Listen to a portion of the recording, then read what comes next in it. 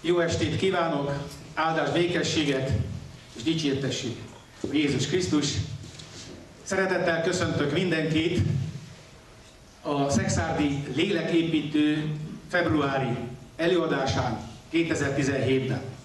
Dr. Tóth Csaba Attila a nevem, és nem csak azért mutatkozom be, mert így illik, hiszen itt Szexárdon nagyon sokan ismernek, mint a rossz pénzt, de azért vannak biztos olyanok, akik ma vannak először, és nem a léleképítő kedvéért, nem az én kedvemért, hanem kimondottan az előadó kedvéért, akit országosan is mindannyian ismerhetünk. Bíró László, tábori püspök úr, aki elvállalta, hogy a mai léleképítő előadást megtartja. Köszöntünk szeretettel, püspök úr!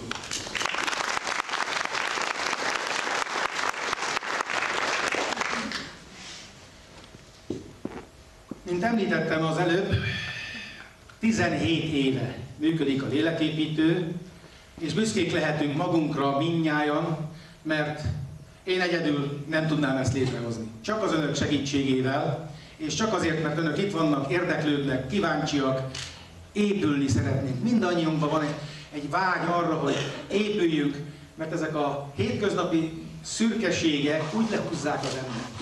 És havonta egyszer legalább van itt Szexárdon egy ilyen alkalom, és köszönöm önöknek, hogy eljönnek, mert így önök életben tartják ezt a rendezvény sorozatot.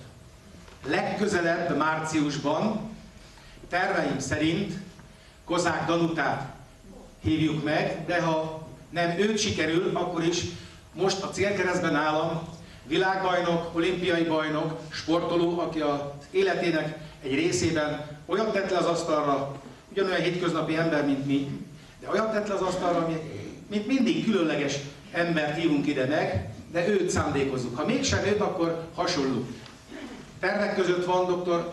Vörös Marti Dániel szemész professzor, akivel ma beszéltem, és még valamilyen műtéten át kell essen, 88. esztendeje tapossa a professzor úr, mert reméljük, hogy ő és ígéretet tett. Aztán Gyulai Endre püspök urat, őt is vele is beszéltem, ő is hivatalos lesz, tehát itt a elkövetkezendő hónapokban keressék majd a Szexárdi vasárnap, illetve a Tolnai Extra lapjain azt, hogy, hogy na mikor lesz léleképítő. Hátul van egy-két kiadvány, azt az előadás végén meg lehet nézni, illetve meg lehet vásárolni. És akkor a mai előadás témája, amikor beszéltem a püspök úrral, akkor megfogalmazódott bennem az, hogy igen, ajánlja a családi kapcsolatokról való beszélgetést, a, a, a, ahhoz ő nagyon e, ragaszkodott, és hiszen abban van otthon, azzal foglalkozott nagyon sokat. És én pedig azt látom és azt tapasztalom, egyrészt mint szülő is, másrészt mint e, barátoknak ismerettségével látom másoknál is, hogy ez az okos telefonos világ, ez annyira megváltoztatta a kommunikációt egymással, hogy nagyobb a változás, mint korábban 50 év alatt, vagy akár 100 év alatt. Még a 80-as, még a 90-es években is, még esetleg az e-mail, ugye az még elektronikusan számítógép, persze fontos volt, de ezzel az elemi erővel nem köszönt ránk az, hogy akár a családi asztalnál egymással két gyerek az ujját mozgatva kommunikál.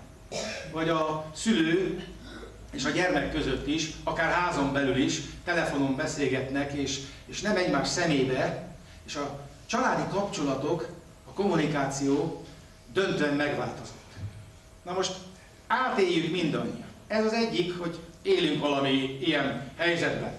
Másik, hogy az iskola és a gyerek, ahol jár, ott is tulajdonképpen már nem tudom, hogy hogy hogy lehet szankcionálni, ha valaki valamit csinál, vagy nem csinál, hogy lehet egyáltalán a szeretet jegyében mégis konzekvensen, mégis következetesen olyan korlátokat felállítani, amelyek nem agyon nyomják, agyon korlátozzák a gyereket, de mégis védő korlátként nem szabadjára van engedve. Ma azt látom, és ezt sokkal nagyobb problémának látom ma, ezt a szabadosságos, szabad, korlátlan, korlátozás nélküli világot. Márpedig, akárhogyan veszem, a Szentírásból is rengeteg korlátot, védőkorlátot, tehát a tíz parancsolat nagy része, parancsolat, hogy mit tegyél és mit ne tegyél. Ma ezzel hogy állunk, és ezért adtuk ezt a címet a mai előadásnak, családi kommunikáció az okos telefonos világban.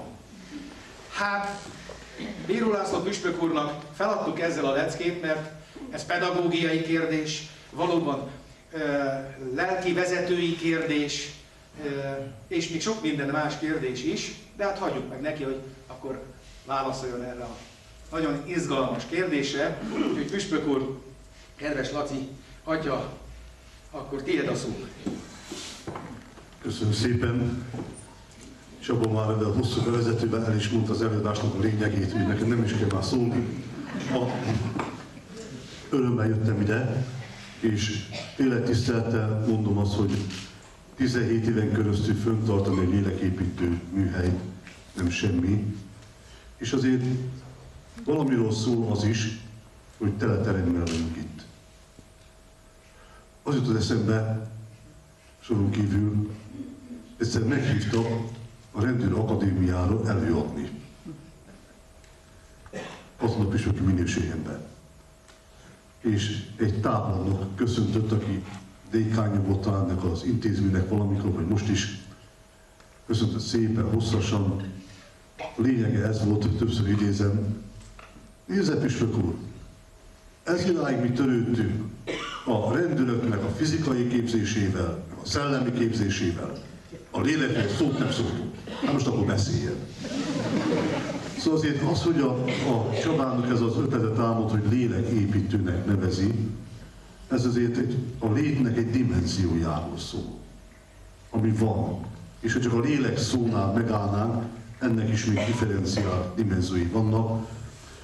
A velem korabeliek, meg a fiatalobbak közül is sokan úgy nőttek ki föl, hogy erről a dimenzióról hallgattak. Azt mondták, hogy ez pszichológushoz való. Pedig messze több annál. Ugye börtönpüspök is vagyok, és elég sok dolgom van a börtönpszichológusokkal is, meg a börtönlelkészekkel, és egy börtönlelkészekkel voltam együtt, és egy előadó, pszichológus éppen magyarázott a lelkészeknek is, hogy ez a, van a, a testorvosa, van a szellemi képzés, és van a lélek, az két irányba megy. A psziché és a lélek. Pszichét tartozik a pszichológushoz, esetleg a pszichiáterhez. A léleknek egy másik dimenziója tartozik a paphoz. És ez nem, nem lehet ki, kiiktatni az életből. Érdekes az is, amikor katonáink itt vannak külmisszióban, és ott a pszichológus is, meg a pap is, sokan nem is hallnak az Istenről, és mégis inkább a paphoz mennek oda. Nem csak egy ősi reflex után nagyobb a bizalmuk hozzá, hanem valami más miatt. Szóval nagyon jó az, hogy Szexárdon ez a léleképítő felszínen tart egy fogalmat, a lélek. Nagyon fontos. És éppen a lélek nélküliség az, ami nagyon sok válságot okoz a személyes létben is, a családokban is. Van a psziché és van a lélek. Mindegyikre figyelnünk kell. A témához közeledve, az okostelefonoknak a világában, kommunikáció a családban, és ez az a végső cím, amit Csaba megadott nekem. A pénteken katona emberekkel voltam együtt, és az egyik anyuka, aki katonaként anyuka, mondja, hogy a családot próbálta összetrombitálni vacsorára, közös asztalhoz, nagyon nehezen ment. Mert mindegyik az internet előtt. És mondta a gyerekeknek, hogy gyerekek, legközelebb virtuális vacsora lesz. Én magam is hallottam ilyen történeteket, de nem érdemes, nem érdemes ezeket szaporítani, amikor házas pár egymástól szemben ült ugyanazon a munkahelyen, és interneten leveleztek egymással. Néha jó levelezni egymással, mert többet tud az ember elmondani, mint szóban, amikor látom másnak az arcát, és látom, hogy bosszantom, és már nem azt fogom elmondani, amit el, akartam mondani, de azért az nem egészen szerencsés, hogyha tényleg házon belül, mint a Csapa mondotta, telefonon érintkezik egy család egymással, vagy pedig éppen internet. Azért még mindig a szemtől szembe találkozás az igazi kommunikáció.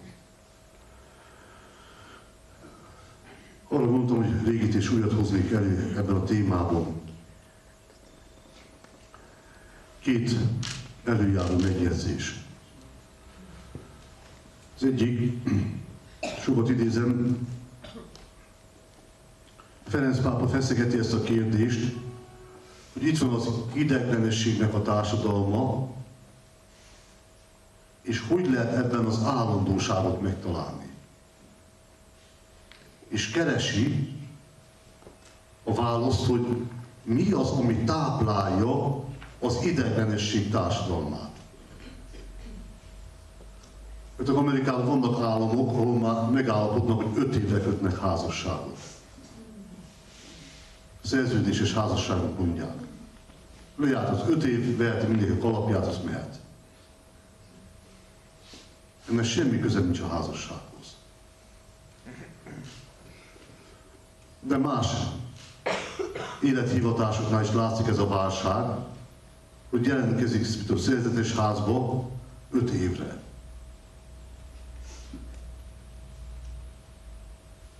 Ez az a, a, a valóság, ami ellenkezik mind az ember természetével, mind a szeretettel a természetével. Az ember nem használati cikk, mit használok, azt eldobom. Vannak kudarcok egy életben, az más. Mert a szándékban.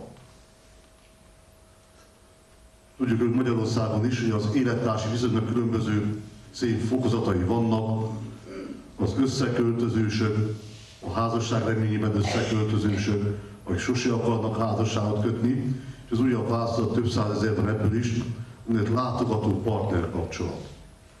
Tehát ma azt a fáradtságot sem veszik magukhoz, maguknak, hogy összecucoljanak, hogy szokták mondani. Nem kell szétcucolni. Amikor egy válságból jönnek hozzám emberek, rengeteg házasságot hallgathatok meg, mindig azt keresem, hogy, hogy volt ebben a házasságban kommunikáció valamikor is. Hogy csak egymásnak estek, disznó vágyundakoztak, vagy csak megesküdtek, vagy összeálltak. Nagyon sokszor semmi tapasztalatok nincs a kommunikációról. Az ilyen házasság szükségszerűen 5-6-7 év alatt tönkre megy. Nincsen semmi százalék benne.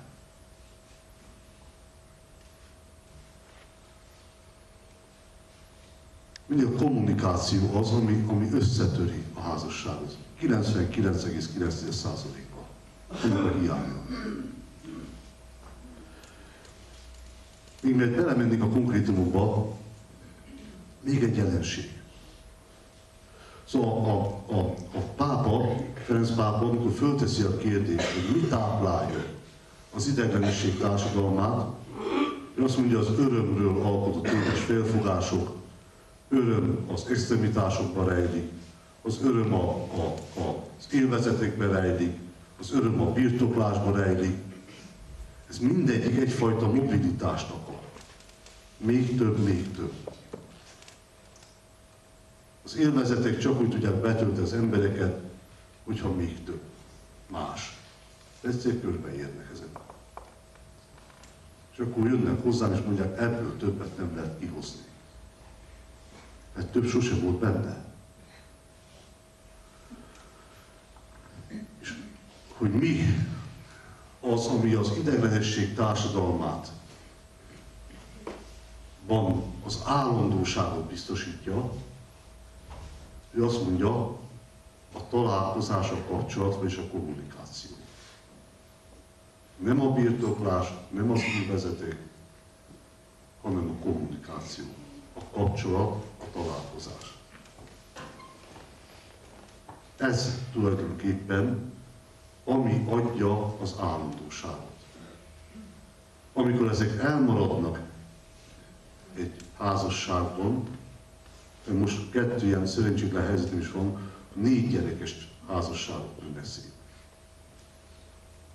Fáj a szíve az embernek. Egyik mozgalmára voltak mindenféle, csak éppen a személyes kapcsolatra nem figyeltek oda. Semmi nem helyettesíti a személyes kapcsolat egy házasságban. Járhat templomba, járhat mozgalomba, cselkészetben mindent csinálhat egyszerre, konkrét esetre gondolok, de ha egymással nem kommunikálnak, nem vigyázzák a házasságnak a belsejét, akkor nagy baj. Akármilyen jámbor, mit beszélünk. Ennyit az ideglenesség társadalmáról. Emögött van egy nagyon mély filozófiai válság tulajdonképpen. Ez pedig a gazdasági szemléletünk, amely, amely mindig arra akar figyelni, te máskor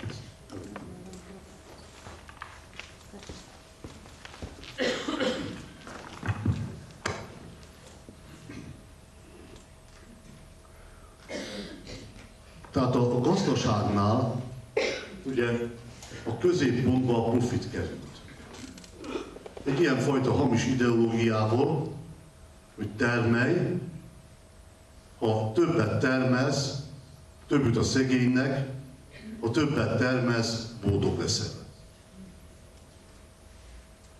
És vagy mutatók alapján a hozzáértők kimutatták, hogy 13-szorosára növekedett a termelékenység nem tudom mennyi idő alatt, és ugyanezen idő alatt 300-szorosára nőtt a szegénység. De ez is egy félrevezető állítás, termelj, és akkor boldog leszel. Nyilvánvaló kell a megélhetéshez a pénz. Kell termelni. De a boldogság nem tud a többet termelésből kijönni. Amikor a profittól várom a boldogságot, akkor, akkor a probléma hol van? Ott, hogy a profitnál, a profit termelésénél, mint termelő erő áll a szembe a termelt jóval. Ez egy személytelen kapcsolat. A boldogság pedig a személyes kapcsolatból születik meg. Az én-te kapcsolatból. És a hozzáértők fölteszi a kérdést, hogy hogyan lehet kimászni ebből a profit központúságból. És sokan visszamennek ezen gondolkodók közül, csomó magyarul megjelent irodalom is van már erre, visszamennek a középkorba. Itt Szexádon is világos a dolog. Egy apátság létrehozta városban vagyunk együtt. Ez a város egy apátság körül épül, persze volt egy római kori világunk is, szőlőtermesztéssel tudjuk. De ez a város, amiben most üldögélünk, ez mégis egy apátsági kultúrával jött létre. Mi volt ennek a kultúrának, melyek a közös vonásai, amik létrehozta Európát? Ugye a, a, a, a bencés elv, ez volt, alapelv, Isten tisztelete elé semmit ne tegyél. Vagyis, amikor Isten mond a hívő ember, akkor a szemét mondja. A személy van az első helyen. És a szerzetés az személyes kapcsolatban a másikkal, a másikkal közösen dicsérte az Isten, közös volt a refektórium, az ebédlő, míg a dormitórium, a hálóterem is közös volt. Tehát mi ma is találkozunk ilyen születes házak közben, bemegy hozzájuk, éppen ima idő következik, hiába, hogy oda egy püspök, azt mondja, gyere velünk, mert most éppen ima óra van. És nem ütet engem le, és nem beszélgetünk az imádság alatt. Isten tiszteletel és semmit ne tegyél. aztán a kapcsolat, aztán a közös jó. Amikor egy szerzésház elhatározta, hogy iskolát épít, vagy hospitát, kórházat épít, akkor azt építették. Oda ment a kolostornak a java. Ott a közjónak a fogalma. Ugyanakkor az egyén is megkapta magáét. Volt szerzetesi ruhája, egyszerű, a beteget megápolta a közösség, és méltósággal eltemették. Én azt gondolom, hogy ha a családi kommunikációról beszélünk, ezt mögéje kell tennünk, ezt a valóságot. Amit minden felelős gondolkodású ember, pápáik is mondják sorjában. Hangsúlyoz, hogy a profit központúságtól a személyi központoság el kell jutni. A családjainknál is ez egy nagyon fontos feladat. Figyeljünk oda, a családi gazdálkodások kell, észnék kell lenni, de a személy legyen az első helyen, a család java legyen minden családtagnak a felelőssége, és a, a a személyes javakra is figyeljünk oda. Sose felejtem el, ez egy lánygimnázium, mondtam többször is, lánygimnáziumban voltam előadni, egész szombaton, és hol a, hol a gyerekeknek beszéltem, hol a szülőknek, és akkor közben csoportmunkák a közben kasba, és volt egy ilyen része a, a napirendnek, hogy lehet üzenni a szülőknek a gyerekek részéről, de a gyerek is, a szülők is üzenhettek a gyerekeknek rajtam keresztül. Sose felejtem, én 17 éves lányosztályok voltak összecsukva, és egy kislány odajött, és jelentkezett, és mondta, hogy Atya, tessék megmondani az édesanyámnak, szemétlenni ment ez, hogy minden este üljön az ágyam szélére, lehet, hogy két nap is tudom kimondani, amit szeretnék, de egyszer ki tudom mondani, hadd mondhassam ki. Ez a személyközpontúság. Nagyon sokat vétünk ez ellen. Amikor, amikor nincsen időnk se a házastársra, se a gyerekre. Szóval vannak a családi életnek olyan pillanatai, ami, amikor mindent abba kell hagyni. Osztálytársamat látogattam meg, Nyíregyházan éppen, és akkor lettek friss nagyszülők. És mondja nekem az osztálytársak, tudod azt mondja, ha lányaim berakják az unokákat, én mindent eldobok a kezemből, és ott csúszok, mászok velük az asztal alatt. Ez egy idillikus, elfogult nagypapakép. Vajon a férj meg a feleség nem tehetné ugyanezt meg? hogyha egyik a másikából beszélni akar, akkor mindent tetszed a kezemből, és figyelek rád. Szóval mi a prioritás? Ez a kérdés. A profit, vagy a személy? Mindig ezen múlik az élet. Minek adok elsőbséget? Ugye ez a profit központú gondolkodás, az Eden Smithhez szokás kötni, ez ott hibázik, hogy azt mondja termelj, a személyes kapcsolatok meg old meg, hogy akarod. És az igazságtalansága az, hogy a társadalom humán tőkéje a családból származik, és arra még mindig nincsen idő. Old meg valahogy sundán után. Itt van igazából az alapvető problémám, és azt mondom, hogy ha ezt a hátteret nem tesszük hozzá, nem érdemes beszélni a családi kommunikációról. Tehát az egyik az ideglenesség társadalma, mivel szépen az állandóságra szeretnénk törekedni. Az állandóság középpontja a kapcsolat, a találkozás, a kommunikáció. A másik pedig egy profit központú gondolkodásban profit központú gondolkodásban megtanulni a személyi központú családi életet. Nem könnyű. Mert minden ellenkező irányba visz bennünket. És ezt kéne legyőznünk. Ez volt a jobb, ugye?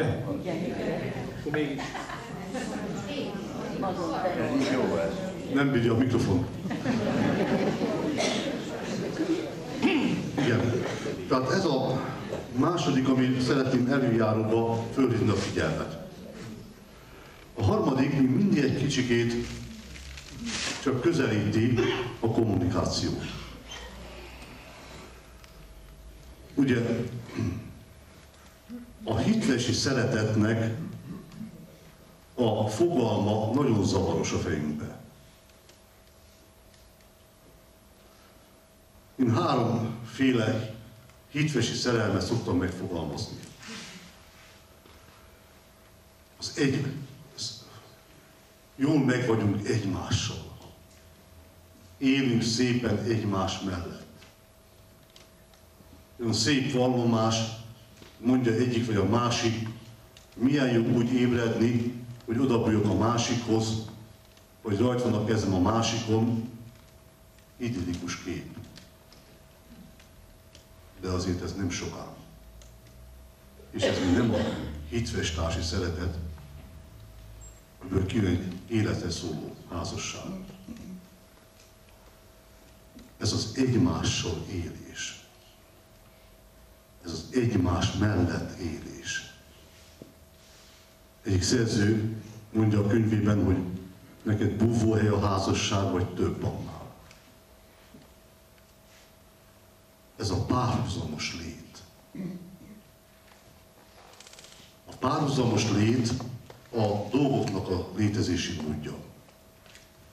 Még azt szoktam mondani, hogy egy sváb fáskamrába az ember bemegy, Lédában ott van a hastott fa. Ez a hastott fa ott fekszik egymás mellett, szorítják, nyomják egymást, de nincs egymáshoz közük.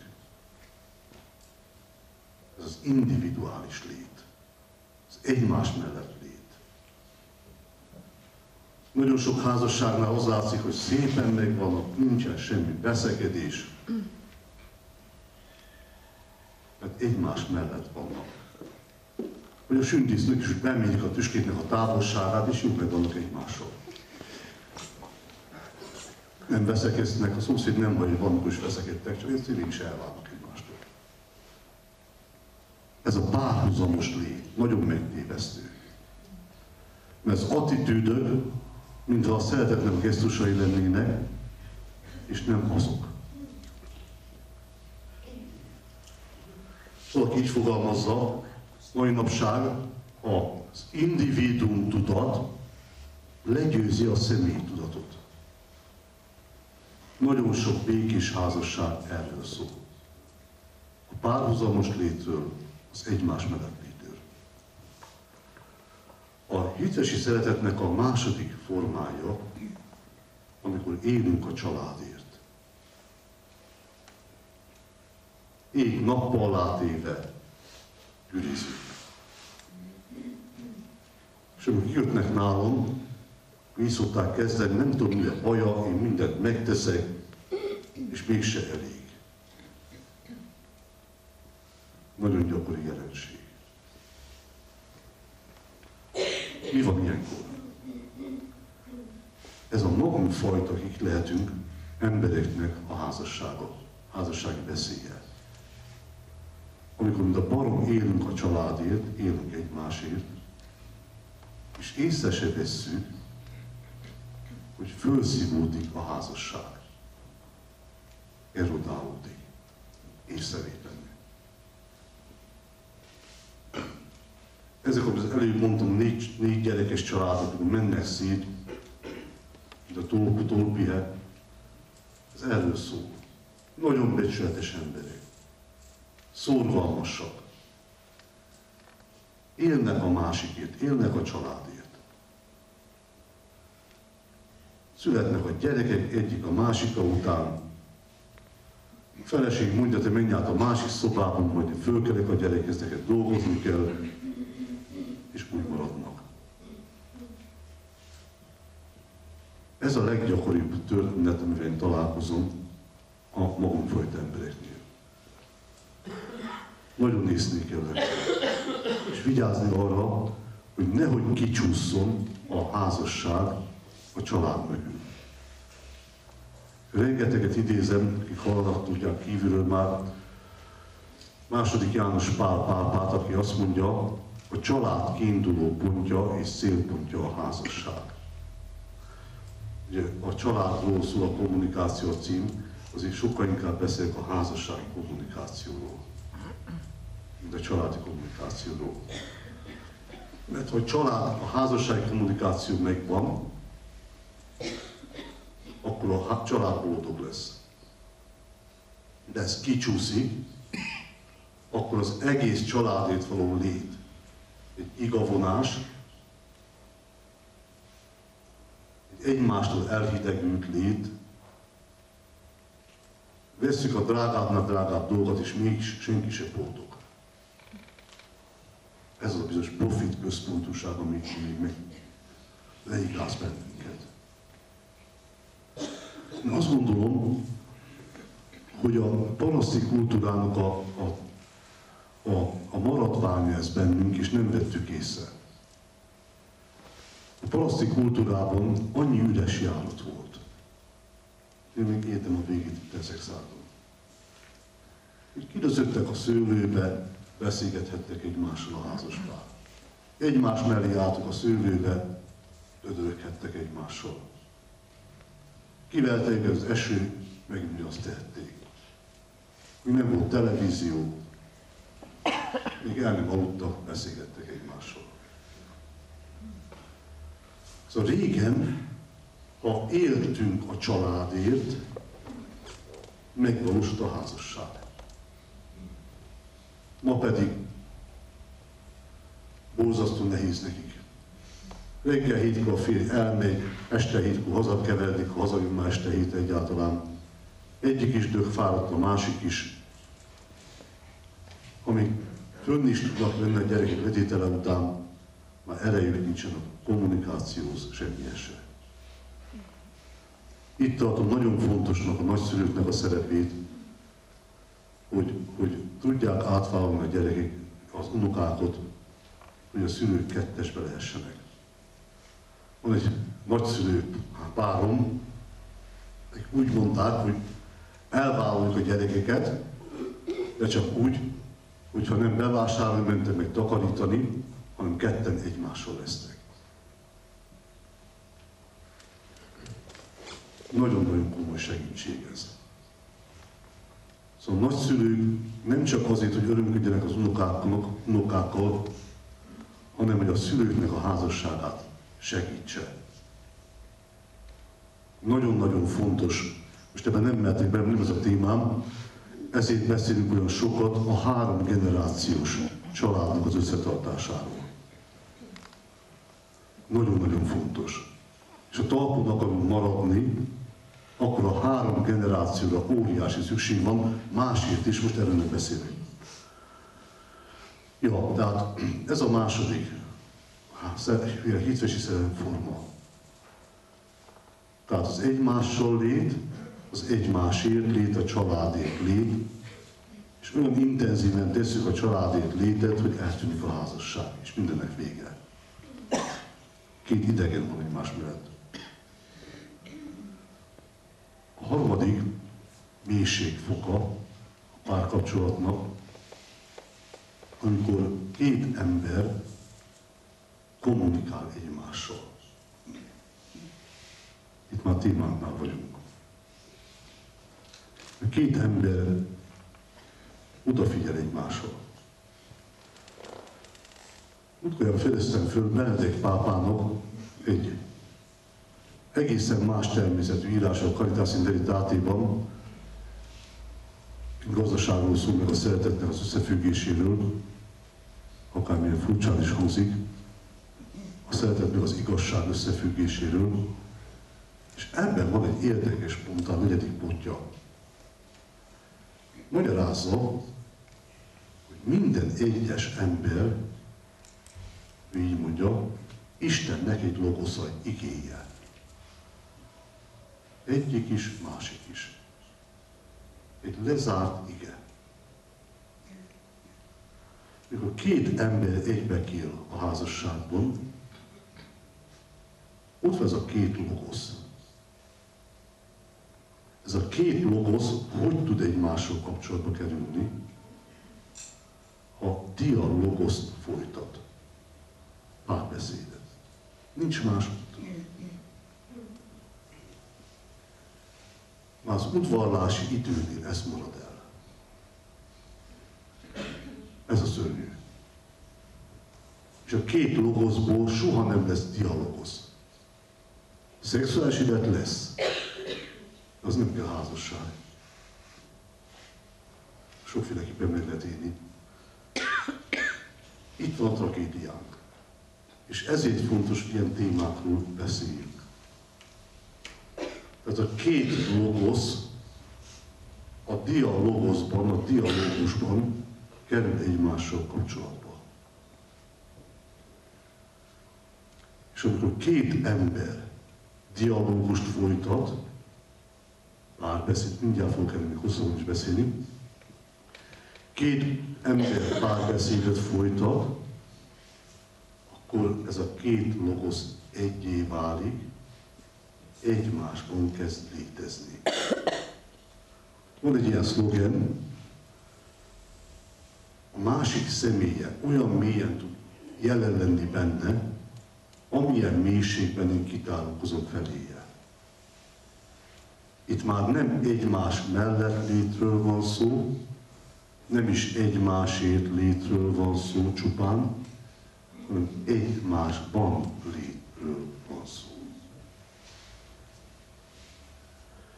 Ez a személyes lét. Az evangéliumban Jézusunk ezt így mondja, aki szeret engem, atyám is szeretni fogja őt, hozzámegyünk, és lakást veszünk benne.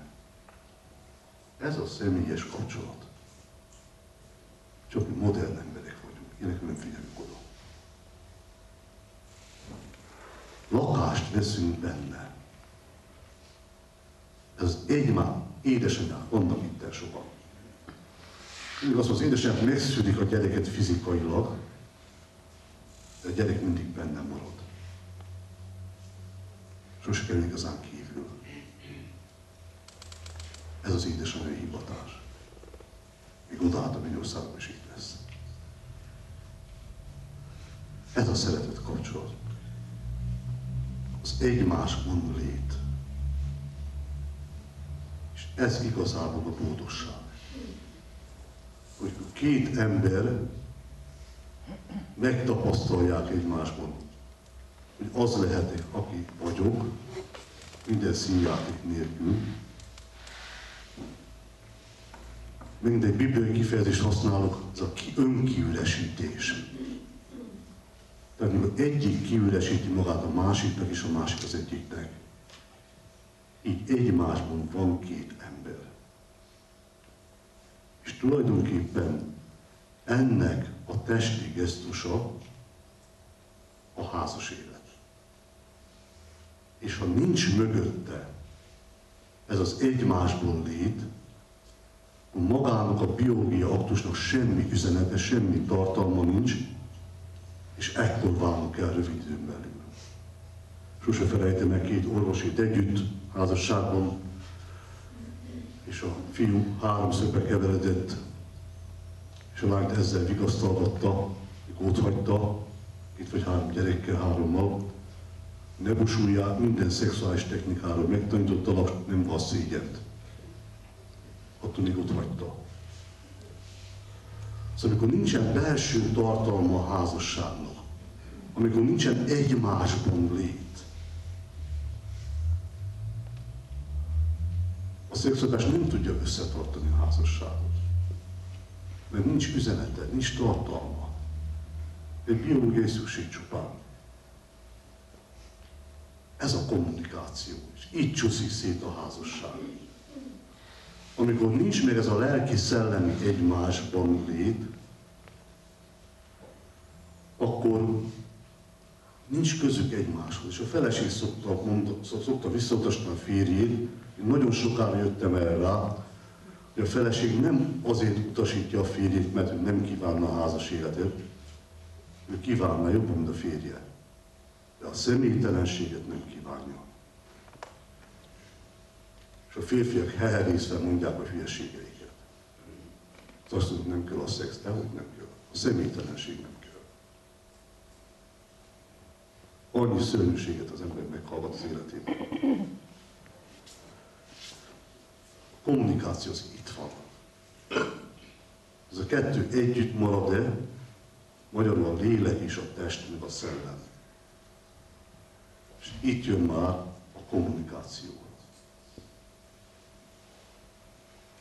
Hogyha két embernek lelki-szellemi köze van egymáshoz, akkor a test működik.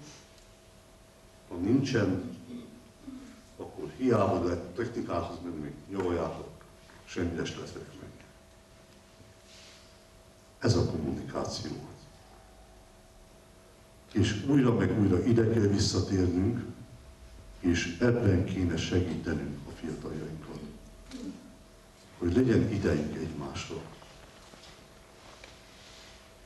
Rengeteg-rengeteg fiatal házaspár jár hozzám, és, és mindig el, hát mit tudok tenni, bátorítani őket, még keresem azt a részt, ahol, ahol, ahol meg szoktam, a reggel is nap, nem csak az este, hanem a szombat. Szóval nagyon nagy jót tesznek a nagyszülők, hogyha az unokákat át tudják vállalni. Szegény szülők magukba lehessenek. Hogy tudják kibeszélni magukat, hogy tudjanak együtt lenni testileg is. Kettő összetartó szorosan. Most maga a párbeszéd, vagy a dialogosz, két logosznak a dialógusa. Gondolom senkit nem irritálok azzal, hogy a pápánkat idézem. Tavaly évvégén a, az irgalmasság éve volt ugye a katolikus egyházban, és a egyik szerdai általános kihallgatáson, a záró általános kihallgatásban, egyik szóval befejező, az irgalmasság évét befejező ilyen, ilyen nagy katekézisében a pápa a párbeszédről beszélt.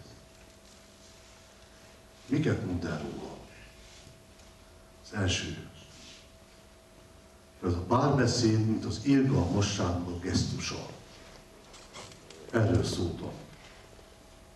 Ez a beszéd. Miért kell a párbeszéd? Néhány szempontját eleveníti fel a pápa. Nagyon tanulságos. Azt mondja, az első feladata a párbeszédnek egy házasságban is, ne mondjuk ki egymás fele, ismered, mint a tenyeremet. Hazugság. Hogy azt mondom ki, hogy nem szereted. Az, hogy hányos lábon az ismerhetem. Hogy éppen most mi van benne, azt nem tudhatom. És a párbeszéd ez. Egy házasságban. Ha 80 éves házasok, akkor is. Megismerjem a másikat mi mozgatja most éppen? Az, hogy megismerjük egymást. Megismerjük egymás örömét, szükségleteit.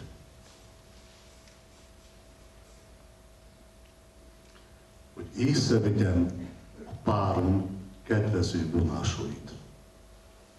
A gyerekkel való kommunikáció ugyanez szülő-gyerek. Csak a családok keresztül megismerjem a másik kedvező bogásait. Szóval belém ragadt ez a kifejezés páros, hogy gamítuló bogár vagy-e, vagy kincskereső. Tehát mindig csak a rosszat teszem a páromnak szóvá, vagy visszajelzem a jót is. Tessék kipróbálni egy hetet családon belül, hogy nem kanétuló bogár leszek.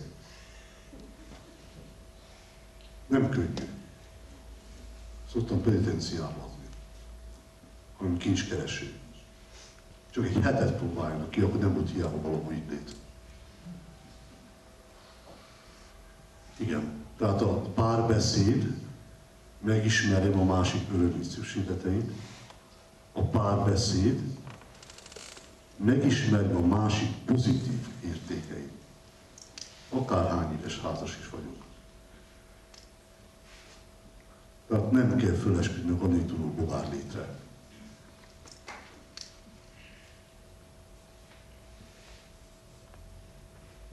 A másik, keresni, ami a másikkal közös. És mindnyáján változunk.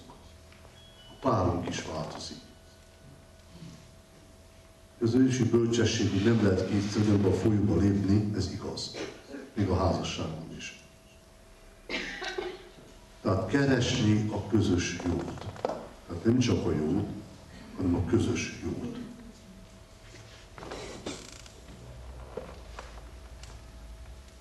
Megtalálni és megosztani ezt egymással.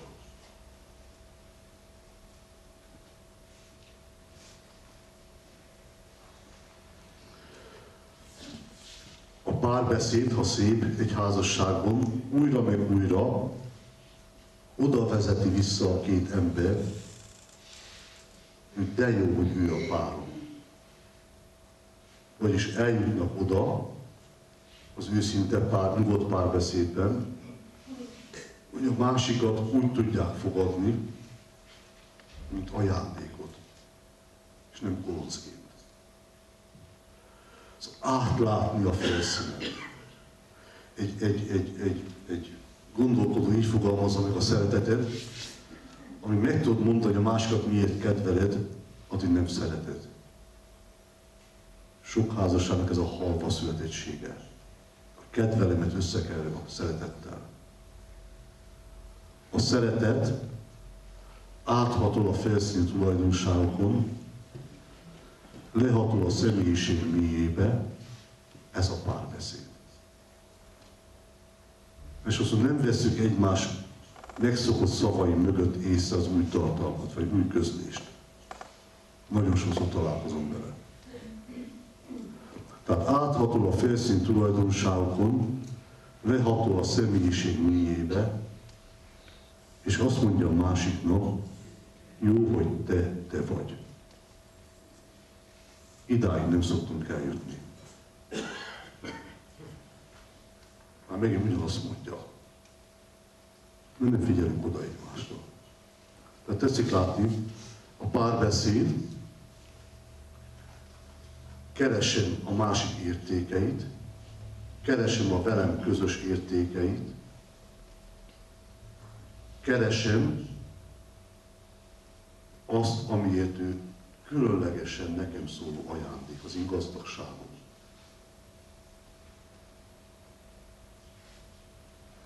Tehát a párbeszéd nem az, hogy felülkerekedek a másikon.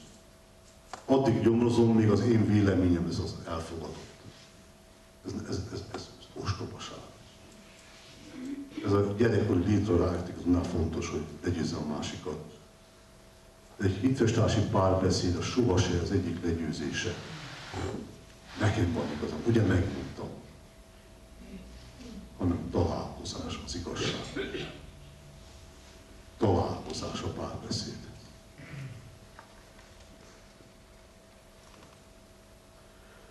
Ugye ennek is nagyon jó eszköze, hogy nem szólok bele a másik szavába.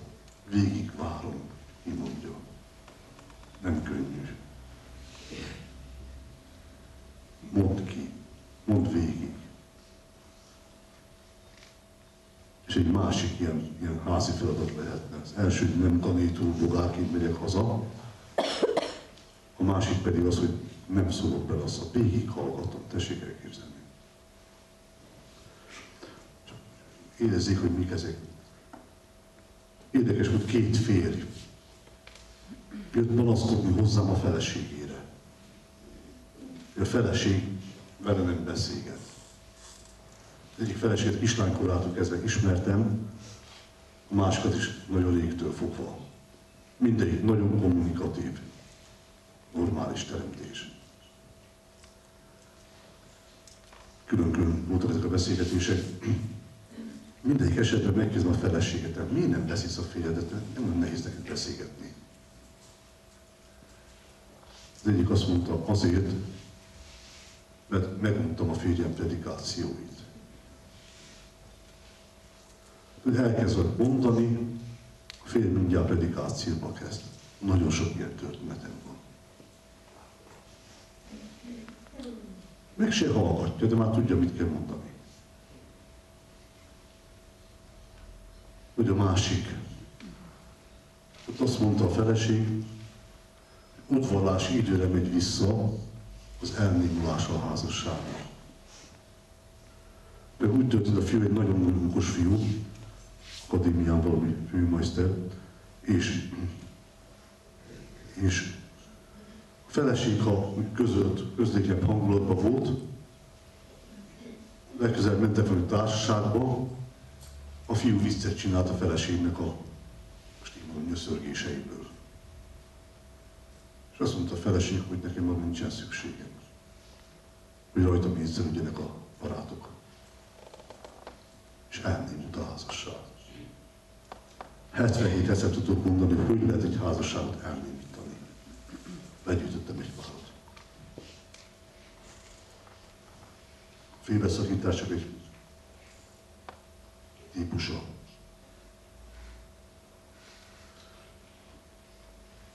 Tehát hatalmas szükség van a belső párbeszédre, arra, hogy megtanuljunk meghallgatni egymást.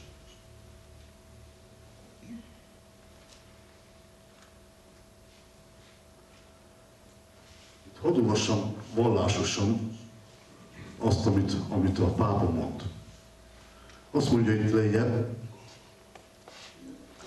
ne felejtsétek el, párbeszédet folytani, folytatni azt jelenti, meghallgatom a másikat, amit mond a másik nekem, és megkeresem az ő szavai mélyén, amit rajta keresztül üzen az Isten. Tehát a másik ajándék számomra, a másik, a logos szó az ige, a másik Isten üzenete hozzám. Ez nem könnyű mesterség. Ennyire komolyan venni egymást egy házasságban. Hogy meghallgatom, mit üzen rajta keresztül az Isten. Ő Istennek az a szója, szakszó, beszéde.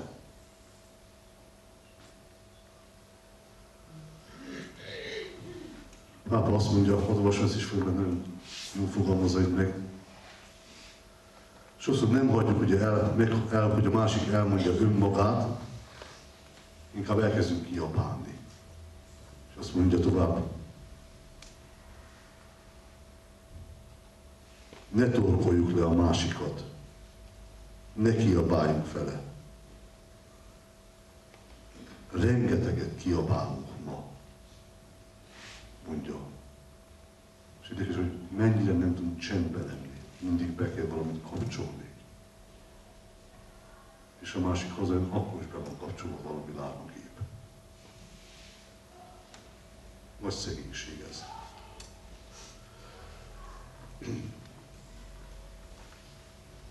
Na csak szabadon. Hoztam sok mindent magammal, csak nem érdemes, mert nem tud az ember többet befogadni. Ilyen szép aranyszabályok, itt vannak van 15 darab ilyen arab szabály kommunikációhoz. Nem fogom most felolvasni mindet. Azt mondja, mindig a saját nevemben, és ne a másikiba beszéljek. Ez egy alapszabály. Magyar az én formájú figyelmeztetés közlés.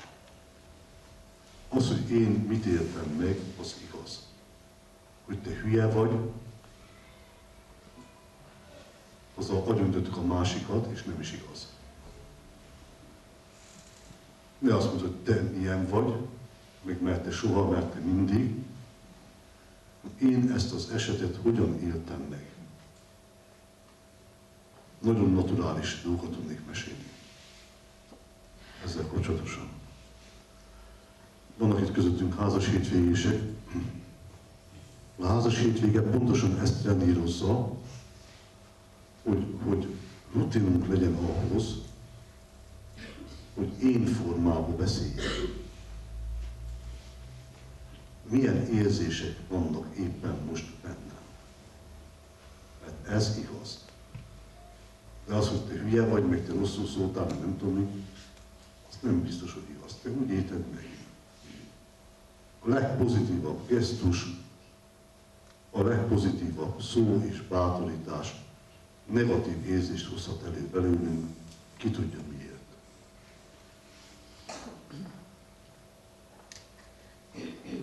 És a kommunikáció a házasságban éppen ez. Egy órát lehetne erről beszélni. Az érzése szintjén való kommunikáció.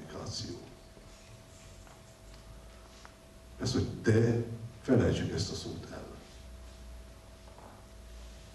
Én mit éreztem? Ez nem, nem az önzésről van szó, nem, a, nem az egónak az előre kutatásáról van szó. Egészen másról, pont a háttérbe szorításáról. Hogy ne ítélkezzek. Valahol most itt a szexuális bából olvastuk föl, hogy, hogy az Isten is csak a halál után ítél, miért ítélsz. Szóval, amikor ítéletet mondunk egymás fölött, egy házasságban is, nem biztos, hogy segítjük a házasságot. Sőt, tanuljunk meg érzéseket kommunikálni. Érzéseket mondani. Ez egy kultúra. A másik pedig csak két-három percet beszél, az abba vagyok, mert nagyon sok. A másik, amit talán mondanék, az a lelki-szellemi megosztás. Lelki-szellemi megosztás. De nagyon analfabéták lettünk.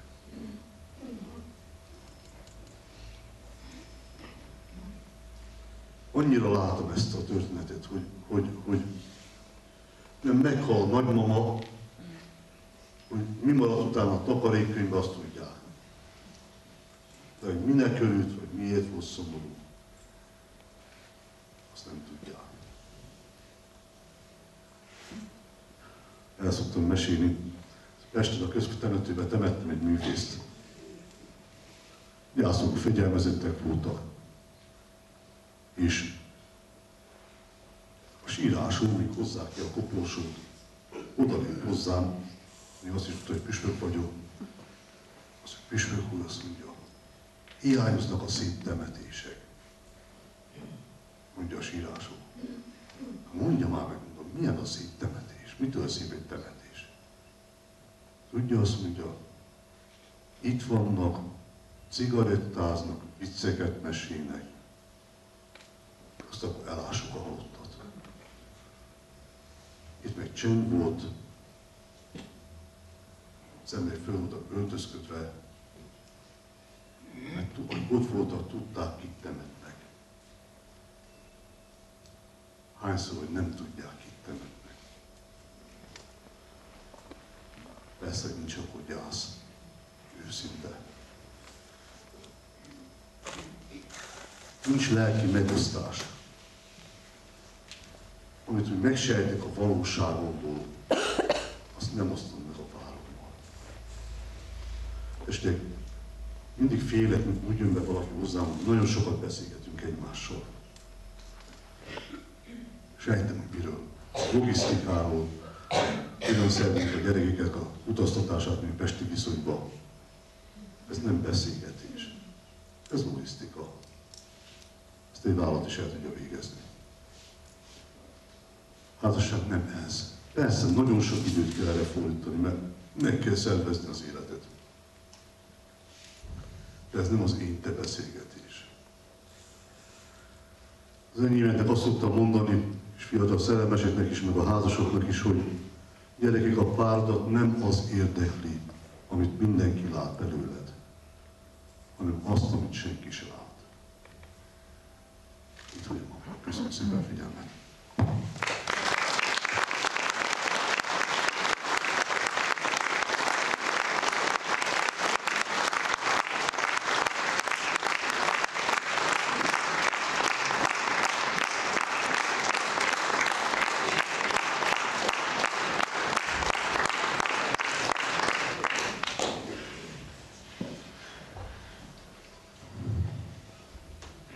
pirulással és mély hallgatással legszívesebben, de meg kell szólalnom. Egyrészt azért, mert köszönöm szépen, köszönöm Bíró László Püspök úrnak, hogy ezeket a gondolatokat így összefoglalva elmondta, és gondolkodhatunk, hogy hát az okos telefonos világban ez most hogy van, meg hogy nem, de valóban én magam is eszembe jutott a bevégezetlen ragozás Örkény Istvánnak. Sokszor csak úgy magam elé nézek, sokszor csak úgy magad elé nézel, sokszor csak úgy maga elé néz, sokszor csak úgy magunk elé nézünk. Hát, kicsit úgy magam elé néztem, hogyha tényleg van párbeszéd, ha tényleg van példa, kommunikáció a családban, akkor ez az okos telefonos kérdés is lehet, hogy egyszerűbben oldódik meg. Hogy nem azzal kell foglalkozzunk, hogy kikapcsoljuk az internetet, vagy nem kapcsoljuk ki az internetet. Hogy oldjam meg, hogy a gyerek beszélgessen már velem, vagy egymással beszélgessenek. Kérdésekre szeretnék lehetőséget adni, hogyha valakiben van kérdés, de engedjék meg, hogy két dolgot magam is, amit közben eszembe jutott, még megosszak önökkel. Az egyik, amikor szóba került a Ferenc pápa gondolatában az öröm kapcsolata, számomra nagy élmény volt mostanában, és lám internetes világ, az interneten keresztül újra meghallgatnom azt, amit 1985-ben hallgattam meg. Közös jó barátunk volt néhai dr. Hegedűs Lórán Püspök úr, volt hidasi lelkész, aztán ugye Budapestre került, és 1985-ben 8 igehirdetést mondott el az örömről. Méghozzá a Filippibeli gyülekezetnek írt levél negyedik fejezetének negyedik verse alapján, hogy örüljetek az Úrban mindenkor, ismét mondom, örüljetek. Mi reformátusok gyakran emlegetjük ezt az igét, olyan szépen hangzik az örömről.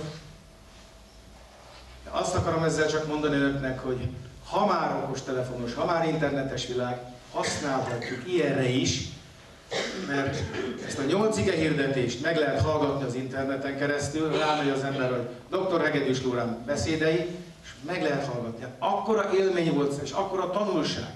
30 nem év után újra hallgatni a ma már aktuálisabb dolgokat, hogy elképesztő.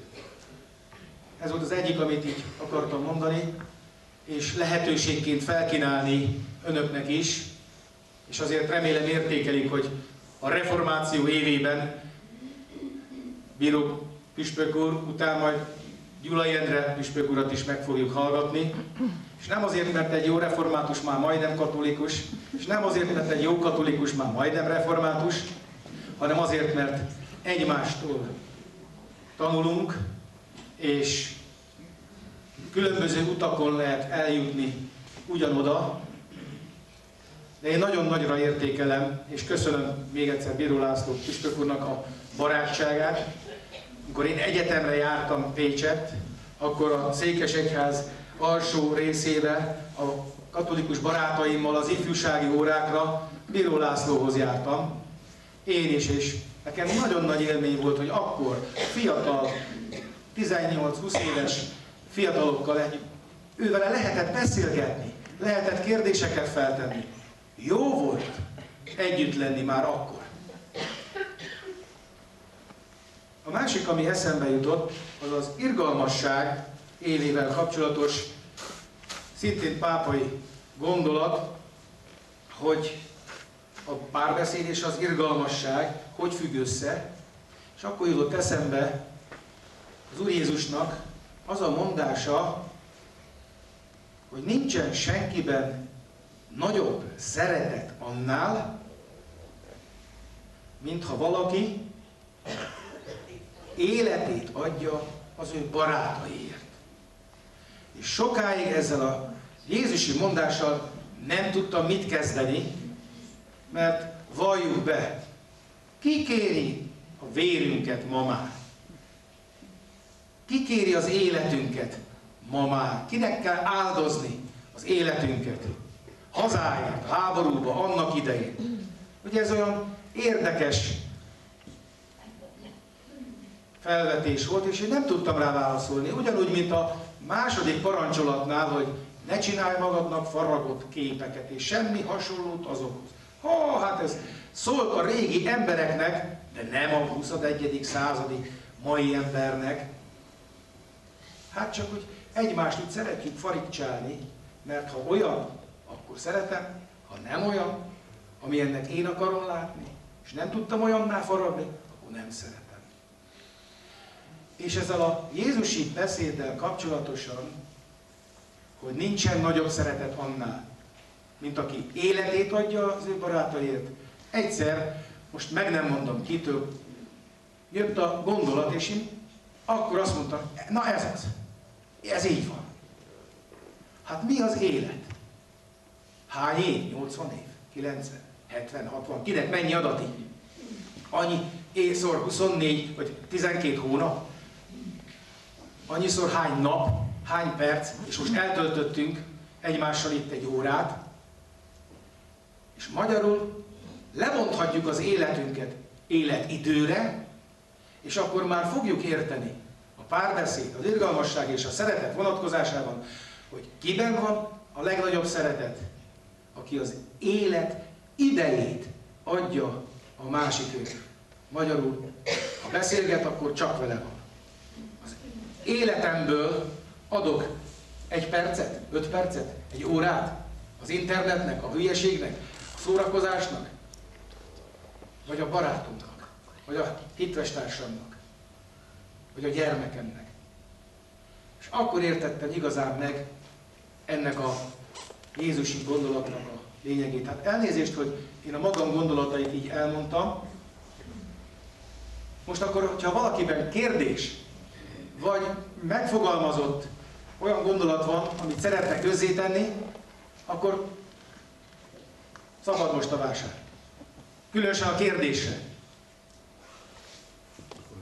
Igen?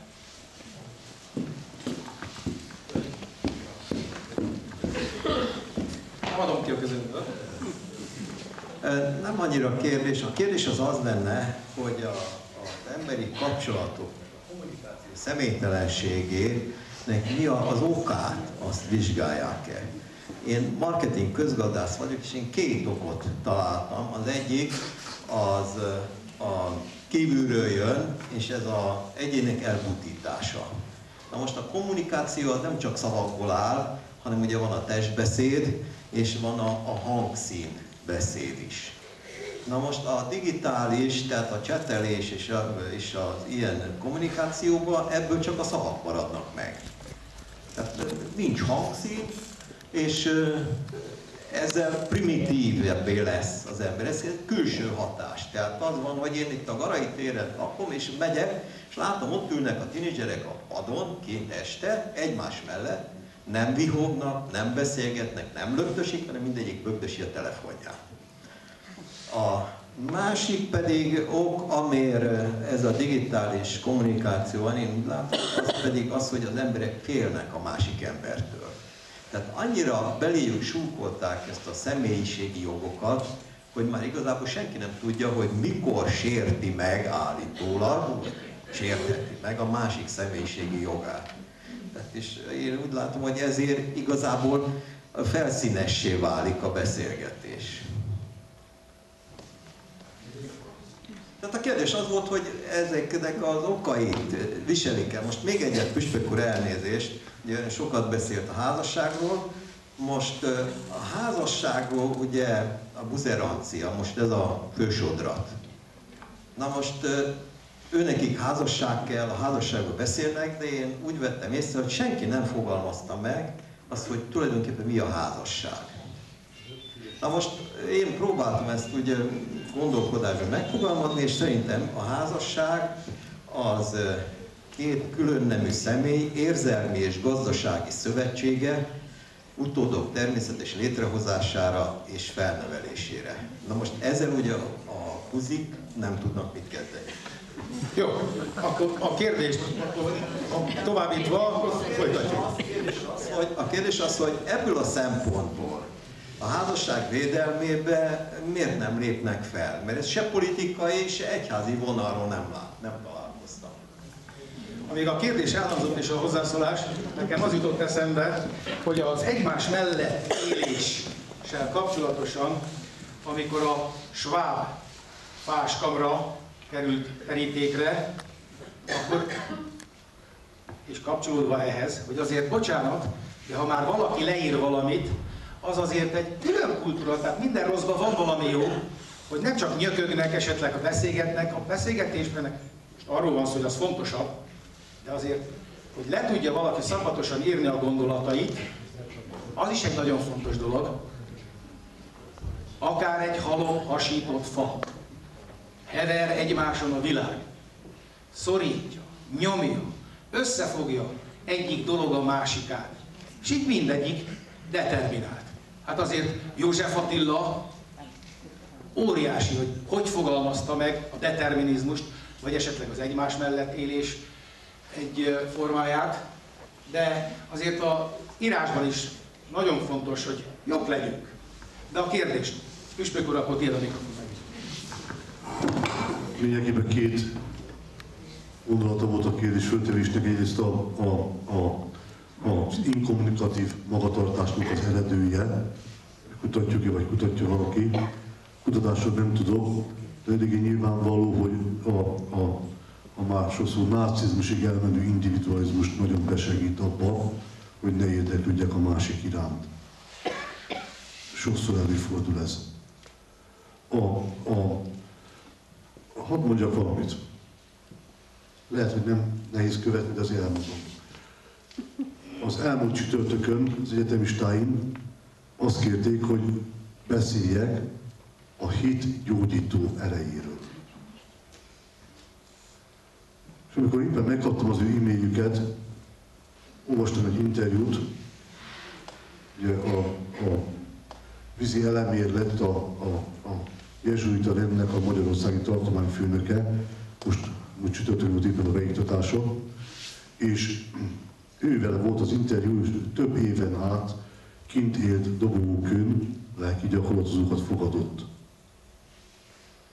És értem is erre a kérdésükre, hogy hogyan gyógyít a hit, próbáltam ezt megfogalmazni, nagyon elbevágta őket, és azt mondja, hogy időnként ki kell vonulnunk a saját világunkból, hogy rálássunk saját valóságunkra, rálássunk önmagunkra, és harmóniába kerüljünk, összhangba, ezt a szót használjuk, összhangba kerüljünk a teremtett világból és Istennel. A, az biztos, hogy a, a, a, a, hogy mondjam, az együttélések betegek, hogyha valaki nincs összhangban önmagával. Mert akkor nincs, aki összhangba kerül a másikkal.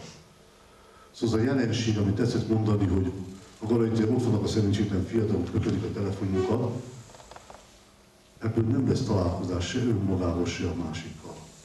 És a nagyobbik baj az, hogy önmagával se találkoznak az emberek. Önmagukkal sem. Tehát a gyógyulás az mindig összhang. Külsőnek és a belsőnek az összhangja. Az ember összhangja önmagával, a teremtéssel, a másik emberrel. Van egy másik jelenség, amit az ember örömmel lát néha. Nem hiszem, amikor Pécset voltam 17 éven köröztül, a Székesegyház előtt, a sétatéren, amikor tavaszodott, az öregek kiültek, hogy a padra, botjukra támaszkodva, hogy ültek egymás mellett. Ez szó nem szóltak egymáshoz. De azt gondolom, hogy kommunikáltok újra meg újra összerendeződtek egymáshoz. Van egy kommunikációs mód, ami ugye nem a szó föltétlen, hanem a közelség. Egy nagyon-nagyon-nagyon mély előadás, szoktam is, nem szexuális voltam, tudom, ugye idézni. Philadelphiában volt egy saját és ott mondta el a nagyon jeles előadó, ez a címet az az előadását, az otthon a sebek gyógyításának a helye. És arról beszélt, hogy melyik az az otthon, ami gyógyít. És ezt a képsort használta, a szék az akkor is szék, ha senki nem ül rajta. A ház akkor is ház, ha senki nem lakja. De az otthon a szeretetteljes jelenlét és közelség. Tulajdonképpen ettől fosszuk meg egymást, amikor, amikor nem tudunk leülni egymással, hanem annyiszor látom ezt, ezt a borzasztóságot, hogy örökké az internet mögöttül a férj is, meg feleség is egymásnak háttal. Ebből nem lesz kapcsolat. Tehát nagyon sok, nem, nem akarok belemenni tovább ebbe a kérdés, az első kérdésben, tehát, hogy miért nem kommunikálunk, miért nincs érdeklődés egymás fele. Egy amerikai szerzőci azt a kérdést tette fel, hogy miért nem imádkozik a mai ember. És azt mondja, hogy azért nem imádkozik, mert nem akar önmagával találkozni. Aki nem akar önmagával találkozni, az a másikkal sem tud találkozni. De aki így fogalmazza, hogy nem tudom elfogadni, én vagyok az X, akkor nem fogom elfogadni, hogy a másik az Y.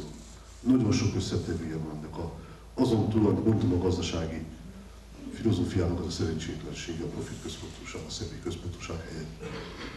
A homokossághoz csak annyit mondanék hozzá, nagyon nagy irodalma van, nagyon sokat beszélünk róla az egyházban, rengeteg könyv is jelent magyarul is.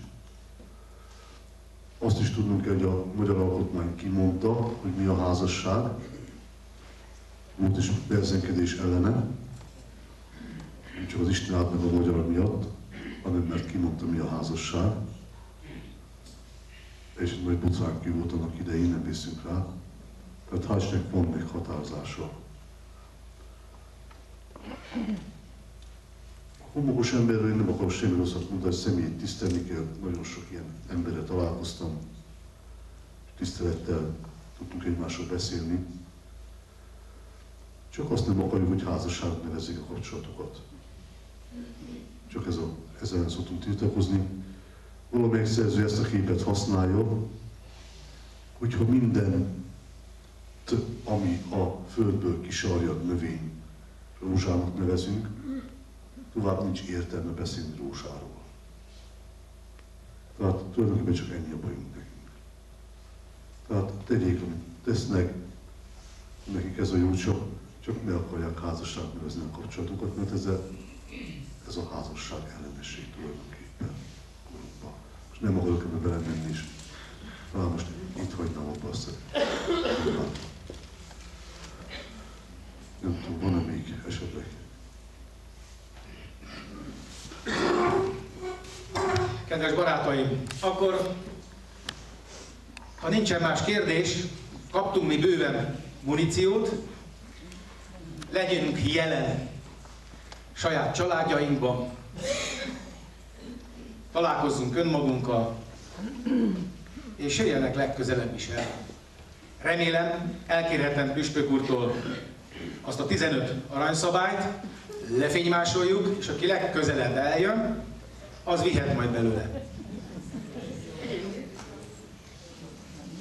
Remélem, még egyszer mondom, Kozák Danutát szeretnénk legközelebbre meghívni, de mindenképpen az újságot figyeljék, Szexádi Vasárnap és a Tolvaj Extrát, esetleg Facebook oldalt, noha okostelefonos világ, de mégis ilyenre is tudjuk használni, rá tudnak pillantani. Remélem, hogy találok most már olyan valakit, aki majd abban segít, hogy léleképítő.hu, vagy Youtube-on, de mindenképpen aki szeretné meghallgatni, vagy meghallgattatni valaki barátjával a ma esti előadást, akkor meg fogja találni, Farkas János és felesége itt a segítségével, akik segítenek abban, hogy egyrészt interneten élőben közvetítjük a valós időben mindig a léleképítőt, de utólag visszanézhető, és reméljük a régebbi előadásokat is majd föl fogjuk töl- tudni tölteni, hogy ha már ilyen világot élünk, abban megtaláljuk ezt is. Még egyszer nagyon szépen köszönöm, Püspök úr, kedves Laci testvér, hogy eljöttél közénk, és remélem az elkövetkezendő 17 évben lesz erre még alkalom. Még egy dolgot szeretnék mondani, hogy nagyon szépen köszönöm Eszter Bauer Jánosnak, hogy most éppen hozzá mehetünk, de amúgy Takler Feri barátunknak, amikor hozzá szoktunk elmenni, vagy Halmosi Jóskának, vagy Nagy Lajos barátunknak, amikor harcra megyünk ki, hogy a léleképítő után az előadóval szűkebb baráti társaság, ismerősök, mindig változik egyébként. Elmegyünk és tovább folytatjuk az este beszélgetést. De ajánlom önöknek, ha találkoznak barátokkal, ismerősökkel, alakítsanak saját maguknak is, a léleképítő után ne rohanjanak csak rögtön haza, ha tudnak, alakítsanak ki kis ö, csoportot, vagy én nem tudom mit, javaslom önöknek, olyan jókat lehet utána még beszélgetni. Nyilván, ha hazamennek a házastársak, egymással is tudnak, az a legszebb, legjobb, jaj de jó. De a barátok is egymással havonta egyszer egy léleképítő után találjanak alkalmat, hogy egymással beszélgessenek. Nincsen nagyobb szeretet annál, mint aki életét adja az ő barátaiért. Adjuk önmagunkat egymásnak, családtagjainknak, szeretteinknek. Isten velünk! Viszont látásra ne feledkezzenek el a kiáratnál a segítségadásra, hogy folytathassuk a léleképítőt. Isten velünk! Viszont látásra!